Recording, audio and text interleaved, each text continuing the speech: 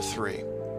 The commercial air travel routes for the southern hemisphere are wrong. This is an easy thing you can check out in 60 seconds. Take a map reading of the distance between anywhere near Australia and anywhere in South America. It's a straight shot across the South Pacific. Now find your favorite travel site and try to get there non-stop. See what happens. The routes start turning ridiculous. I used to business travel for years, and I've never seen anything like it. It's the one thing in the general public world they can't hide the actual distance between these two places. On a round world, the flight is easy, just a straight shot across an ocean. But on a flat world, it becomes the greatest distance between two points. There are no shortcuts, so they distract you with multiple connections and layovers. It's only blind luck that the United States was in the northern hemisphere, otherwise the increased traffic would have raised eyebrows by now.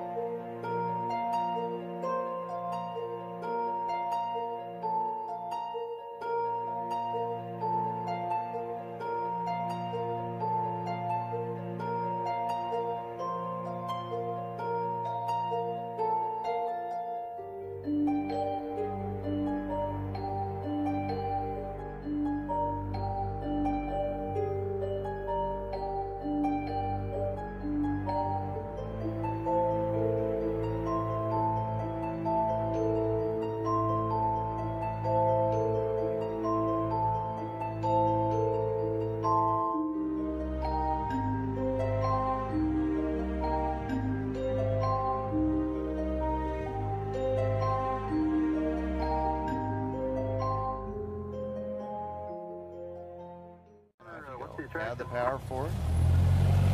You'll start feeling, make sure your feet come down. Just go ahead and shove it all the way in. See now that nose slowly starting to pull and it makes that right rudder. Going straight down.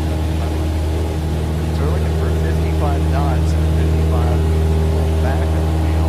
Start to line at 60. Kind of lower the nose. So see how that nose is coming up like that? Yeah. Um, you gotta hold that forward pressure, right? Yeah. Well, there's this gizmo right down here called the trim wheel. Now go ahead and hold the control wheel, hold it at the same altitude, but start to trim this thing. Pull it a little sharper than normal, but eh, you get the point. 30 about that. And Jefferson County Traffic System 522 Sierra's final runway closer. Okay, so everything's good. We've got everything here. The flaps are good. Follow me through on this. So we're coming down. We have good airspeed, 70. So now we go to idle. And once we get down there, we start pulling back, pulling back, and then just kind of hold it off right. A little extra speed. There it is. Turn. We just make the turn off the uh, runway.